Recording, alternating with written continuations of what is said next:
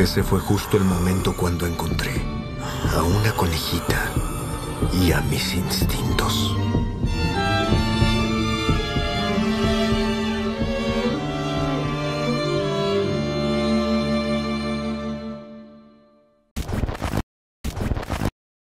Bienvenidos a un nuevo video. El día de hoy les traemos un análisis de la serie Beastars. Y antes de comenzar con el video, les recuerdo que contiene algunos spoilers, así que si no la han visto, pueden verla en la siguiente plataforma.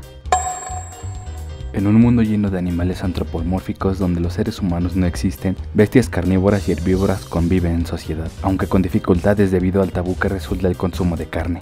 La trama se desarrolla en el colegio Charrington, donde una tragedia ha ocurrido. Una alpaca llamada Tema ha sido devorada por un carnívoro dentro de las instalaciones de la escuela y ha avivado las diferencias y conflictos entre herbívoros y carnívoros. Por otro lado tenemos a Legoshi, un lobo quien se ha topado con una conejita llamada Haru, que pone todo su mundo de cabeza y lo lleva a encontrarse con sus sentimientos, pero también con sus instintos de depredador.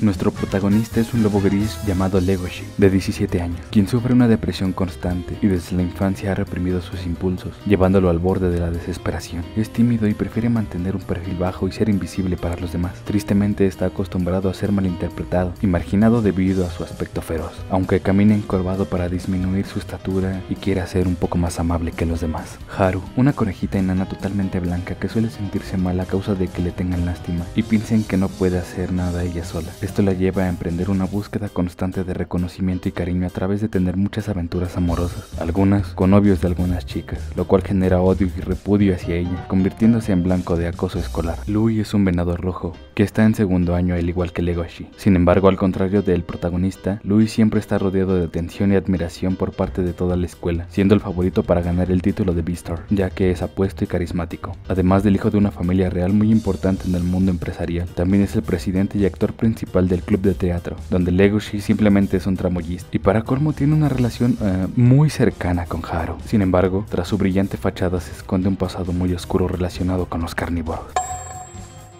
Los humanos no existen y los carnívoros sobreviven a base de huevo y proteína de soya para mantener la paz con los herbívoros. Las consecuencias de que se comieron a Tem se dejan sentir y la tensión entre los alumnos crece. El miedo de los herbívoros es constante, dejando a los carnívoros como Legoshi más marginados que de costumbre. Y el auditorio es la escena del crimen, totalmente acordonado. El deceso de Tem afecta al club de teatro y deben adaptarse a la falta de uno de sus actores con la obra a las puertas. La responsabilidad de que salga perfectamente recae sobre Louis, lo cual los lleva a practicar a él y al reemplazo este tema a altas horas de la noche, a escondidas de los profesores, arrastrando a Legoshi como vigía. Es en estas circunstancias que por primera vez Legoshi detecta un olor que le cala tan profundo que despierta sus instintos depredadores. Afortunadamente, un inesperado percance hace que el actor que reemplaza a Tem salga a pedir ayuda de Legoshi, pues Louis acababa de lesionarse una pierna, y esto distrae a Legoshi lo suficiente como para que la coneja pueda escapar de las garras de nuestro protagonista. Al día siguiente, mientras confeccionan los vestuarios para la obra, mandan a Legoshi con un osito hormiguero al club de jardinería a conseguir rosas para adornar un arco en la entrada de la función. Cuando llegan se encuentran con la única miembro del club, que es nada más y nada menos que la coneja que casi se come la noche anterior. Desprovisto de su voracidad recién descubierta y a merced de su personalidad tímida, se ve en una situación muy difícil y obviamente entra en pánico. Y antes de que pudiera siquiera pensar en una forma sutil de escapar de ahí, el osito se le adelanta diciendo que tiene algo que hacer y huye, dejándolos solos. Haru va a lo suyo. Legoshi le pide las rosas y esta se las da a cambio de que Legoshi le ayude a mover unas macetas que son algo pesadas para ella.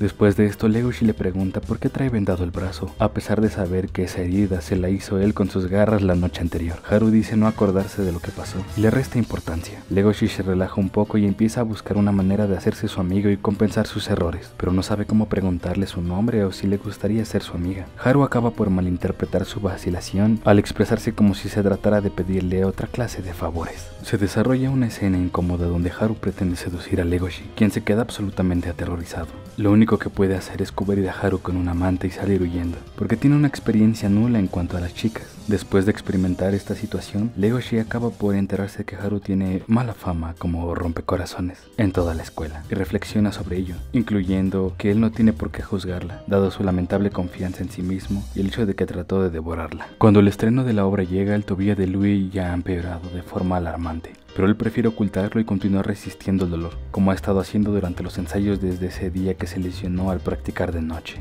Pero a pesar del dolor, logra dar un espectáculo impresionante haciendo el papel protagonista agónico de Adler, aguantando hasta el final y ganándose una gran ovación del público, pero su cuerpo está al límite, y al caer el telón, Louis se desmaya. Obviamente cuando despierta en la enfermería le dicen que el médico le estipuló reposo y no podrá participar en la segunda función, poniendo al club de teatro en un nuevo y gran aprieto, así que Louis elige a Bill como su suplente, que acepta encantado. Sin embargo, el papel de Bill queda vacante y no tienen más actores en el club, así que deben elegir a alguien de su estatura entre los otros equipos de arte y vestuario, y la única opción viable es Legoshi, quien de hecho odia ser el centro de atención, pero no le queda de otra. Al día siguiente, cuando faltan unos pocos minutos para que la segunda función comience, Legoshi capta algo con su fino olfato de canino, algo sospechoso, en Bill, y al confrontarlo en el baño, Bill le revela que es sangre de conejo, la cual usan como droga para aliviar la presión que siente por las altas expectativas del público. Después de la gran función que dio Louis, Bill muestra remordimiento alguno, e incluso se justifica, y a Legoshi le parece imperdonable, que ha estado autocastigándose continuamente desde que lastimó accidentalmente a Haru debido a sus instintos. La ira de Legoshi se despierto y dominado por sus emociones decide dejar de aparentar que no es fuerte y darle una lección a Bill en medio del escenario con todo y público. Al final, Lou interviene y lo separa, aparentando que la obra continúa, lo cual le da un giro a la situación que emociona al público. A la mañana siguiente las consecuencias se hacen sentir y Legoshi no quiere ni ir a la cafetería escolar, ya que su arrebato salió como noticia de primera plana en el periódico escolar y toda la escuela se enteró de la exitosa función, aunque los rumores están llenos de exageraciones, pero la mayoría desconoce que los golpes y la ira eran genuinos. Jack, el amigo de Legoshi que lo conoce mejor, sí lo notó y le ayuda a sentirse mejor consigo mismo y a aceptar que de vez en cuando es bueno enfadarse. Tras un mes después de lo acontecido en la obra, se están haciendo los preparativos para el Festival del Meteoro, que recuerda la extinción de los dinosaurios, que son parecidos a dioses para los animales, ya que son sus antepasados.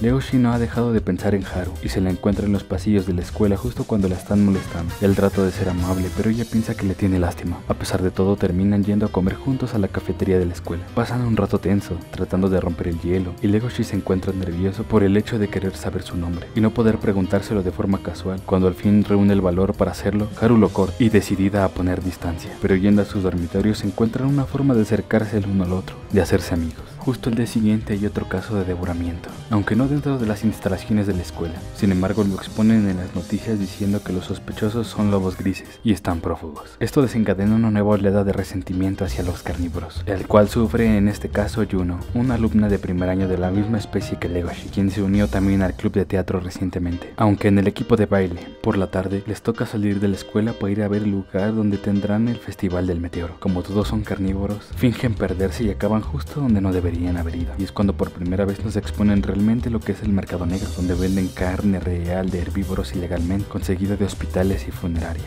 Legoshi tiene un shock debido a la cantidad de olores de carne que hay en el mercado negro y se desmaya. Lo recoge un panda, quien es médico y se dedica a tratar a los carnívoros con trastornos de ansiedad graves por no haber podido olvidar el sabor de la carne. En resumen, le dice a Legoshi que está enfermo por querer a una coneja como amiga que estuvo a punto de comerse. Nuestro lobo no es el único que siente un cargo de conciencia que le impide comer sino que Aoba, el águila, tampoco pudo hacerlo después de pensar en todos sus amigos herbívoros, lo cual conmueve profundamente a Legoshi. En el siguiente capítulo tenemos dos historias, la de una gallina que vende sus huevos como trabajo de medio tiempo y otra donde se nos matiza un poco la personalidad interna de Haru, sus inseguridades y por qué no tiene una pareja fija, además de los detalles de cómo se conocieron ella y Louis. Cuando le estaba mudando sus astas, ella guardó su secreto para que nadie lo molestara por la pérdida de sus cuernos, ya que seguramente para su especie los cuernos son un símbolo de virilidad y lo dejó quedarse unos días en el club. Hay una escena corta de animación hecha con dibujo en lugar de CGI que le da el efecto de acuarela y lápiz de color, usada como un recurso de introspección que recuerda a otro anime, ayudándonos así a comprender sus sentimientos ocultos. Cuando Haru y Louis terminan su encuentro, Louis se encuentra de frente con Legoshi, quien fue a visitar a Haru al club de jardinería. Haru se esconde mientras Louis habla con Legoshi a la defensiva y trata de sacarlo de ahí, pero Legoshi no es un tonto y nota la tensión de Louis y el olor de Haru está impregnado en su ropa. Finalmente Louis hace un intento por alejarlo de Haru diciéndole que se centre en Juno, pues él intuye que Legoshi tiene un interés particular por Haru. Más tarde, su amigo Jack encuentra accidentalmente con la revista de conejas que le dio el panda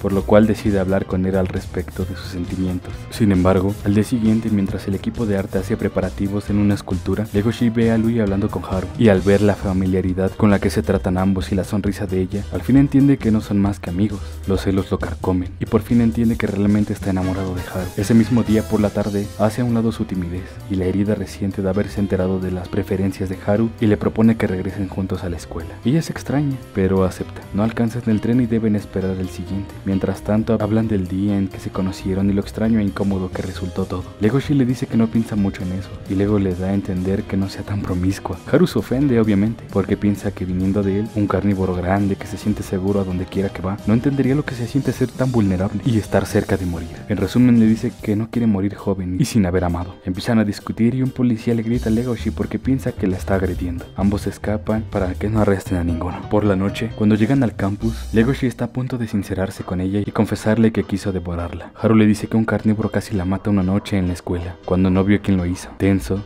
Cierra la boca sintiendo mucha culpa, consciente de que Haru seguramente se alejaría de saber la verdad. Las cosas se ponen tensas entre Lui y Legoshi en el club de teatro, pero Juno, quien se ha ganado la confianza de sus compañeros, aligera el ambiente con su carisma, y después al ensayar su baile juntos, le declara la guerra a Lui para competir por el título de Beastar, pues ella piensa que el ambiente discriminatorio podría mejorar mucho para los carnívoros si ella tuviera ese puesto. La siguiente noche, en la plaza donde será el festival del meteoro, mientras Juno trata de hallar las palabras para decirle a Legoshi lo que siente, sucede apagón repentino. Todos entran en pánico, pues la inseguridad en la ciudad ha ido en aumento. Al igual que en los casos de herbívoros devorados, y en medio del caos, Legoshi va a buscar a Haru para asegurarse de que esté a salvo. Ella estaba asustada, y a diferencia de él, ella no podía ver nada en la oscuridad, por lo que cuando escucha una voz grave llamarla por su nombre, se aferra a él llamándolo Louis, revelando lo que realmente siente por el venado. Esto es un golpe duro para Legoshi, pero trata de ocultarlo y trata a Haru con amabilidad, y al verlos juntos, Yuno no puede creer lo que ve, la forma en la que la mira, no puede entender que a Legoshi le guste Haru. El oscuro pasado de Louis empieza a dibujarse entre pesadillas y recuerdos. Cuando era niño fue criado como un producto vivo del mercado negro, es decir, carne ilegal para ser consumida por los depredadores, pero fue rescatado al llamar la atención de cierto rico empresario que era un venado rojo también, pues necesitaba un heredero para sus bienes y negocios, pero no había logrado tener hijos. Un alumno leopardo trata de atacarlo. Afortunadamente Legoshi está ahí de casualidad y lo salva, sin que Louis se dé cuenta. No se aclara si el leopardo pretendía solamente herirlo o devorarlo, pero si el motivo era evitar que se convirtiera en Beastar, pues un herbívoro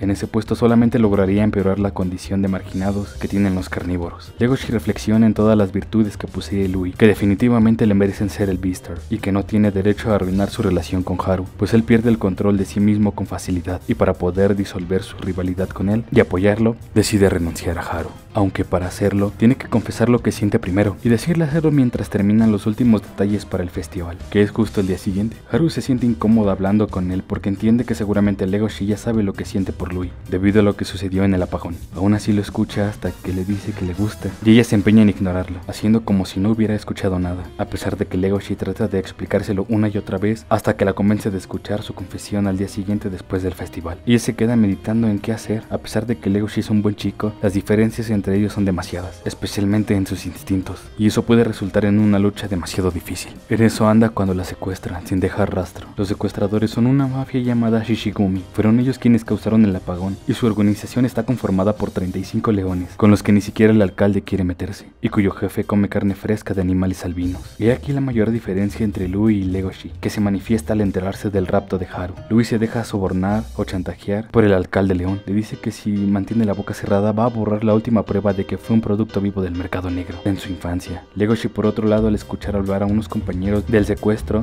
va y le saca la información y va corriendo a contárselo a Louis, quien obviamente ya lo sabe, pero a que a pesar de la frustración no piensa hacer nada al respecto, ni siquiera cuando Legoshi se lo suplica, pues él cree que la responsabilidad recae en él también por tener el amor de Haru. Se pelean y la idea que Legoshi respetaba de Louis se derrumba, pues él entiende que carece de la determinación de buscar otra salida para salvar a la persona que se supone que ama. Es entonces que él le dice lo siguiente. Pero quiero que sepas que Haru será mía. Legoshi va al mercado negro a buscarla, pero cada vez que pregunta por Shishigumi la gente lo evita o lo miran extraño. Después, aquel panda que lo salvó días antes, lo salva de ser golpeado por un par de leones que se encontraban ahí, pero le advierte que ir a la guarida de esos sujetos es prácticamente un suicidio. A pesar de todo, va a apoyarlo. Nuestro lobo logra rescatar a Haru. Sin embargo, deciden no matar al líder de Shishigumi, porque su naturaleza amable se lo impide, y cuando van saliendo del cuartel de los criminales, este león les apunta con un arma de fuego. Pero Louis aparece empuñando una pistola para realizar su venganza contra los carnívoros que trataron de devorarlo cuando era niño y para proteger a Haru a su manera. Después de matar al líder, no volvemos a saber nada de él, ni siquiera si está vivo o si fue devorado. Por otro lado, Haru y Legoshi van a comer y terminan en un motel, aunque al final no pasa nada, excepto que finalmente Legoshi le confiesa que fue él quien casi la devora aquella noche en la escuela, aunque a Haru no le extraña, ni siquiera le tiene miedo. Por supuesto, son regañados cuando regresan a la escuela por la maestra cara de mandril, aunque se escandaliza más porque hayan pasado la noche fuera que por haber sido atacados por la mafia. Juno y Haru tienen un encuentro cuando van a visitar a Legoshi en la enfermería. La loba persigue a la coneja para olfatearla y decirle que seguirá peleando por Legoshi. Ya en el festival del meteoro, Haru anda tristeando cuidando su changarro de flores. Legoshi anda buscándola para poder confesar bien sus sentimientos. Mientras se desarrolla el baile del club de teatro donde Juno va a participar, Haru va a verla y Legoshi la encuentra ahí, y prácticamente le sirven en bandeja de plata para la trampa. Cuando Haru va a decirle algo importante a nuestro lobo, ella los interrumpe haciendo de Legoshi un héroe bajo el reflector y lo hace ir al escenario para ponerlo como ejemplo de compasión y valentía, a pesar de que él no entiende ni qué está sucediendo. Haru acaba sintiéndose desplazada por Juno y comprende que Legoshi y ella serían una pareja mucho más lógica y apropiada. Cuando Legoshi va a buscarla, ella le grita y le dice que debería estar con Juno, y que ella es una coneja y él un lobo, y ese nunca va a cambiar, y nada garantiza que él no se la vaya a comer en algún futuro. A lo que él responde con seguridad que la ama, y por eso no podrá hacerle daño. El anime termina con la promesa de Legoshi a Haru de hacerse más fuerte y dominar mejor sus instintos, para poder hacerla feliz. Nos dan a entender que rechazó a Juno, y nos muestran una escena postcréditos que transcurren después de ese mismo verano. Tienen un aire sospechoso, te hacen pensar que es quien se comió a Tem. Nos muestran un paquete vacío de fármacos y nos dicen que este sujeto es conocido de Legoshi. La primera temporada es muy introductoria, deja algunas lagunas, algunas más importantes que otras, como el pasado del protagonista o la desaparición de Louis, pero el único punto negativo que destaca es que durante los 12 capítulos no se resuelve y de hecho apenas se vuelve a tocar una vez durante la serie el conflicto principal que es quién se devoró a Tim y por qué lo hizo. Por supuesto la obra tiene mucho más puntos positivos, como el hecho de que una obra dejara de temer a la censura y mostrara una cara más oscura, con asesinatos, mercado negro y una mafia amparada por la corrupción política, además de profundizar en los sentimientos de culpa y la, depresión, de cómo se forjan los lazos románticos y en las dificultades que tiene que se enfrentan quien se enamora del animal menos indicado. Beastars tiene también una animación cuidada y llena de color, desde el stop motion hasta la tradicional, con colores planos y también con texturas e iluminaciones complejas, destacando en su prodigiosa fluidez que salta a la vista sobre todo en las escenas como la del baile de Juno o la obra de teatro donde Lou interpreta a Adler. En conclusión, una valiosa joya difícil de clasificar, pero muy placentera de ver. Eso ha sido todo por hoy. Espero que les haya gustado. Si fue así, no olviden dejar su like y su suscripción. Nos vemos en el siguiente video.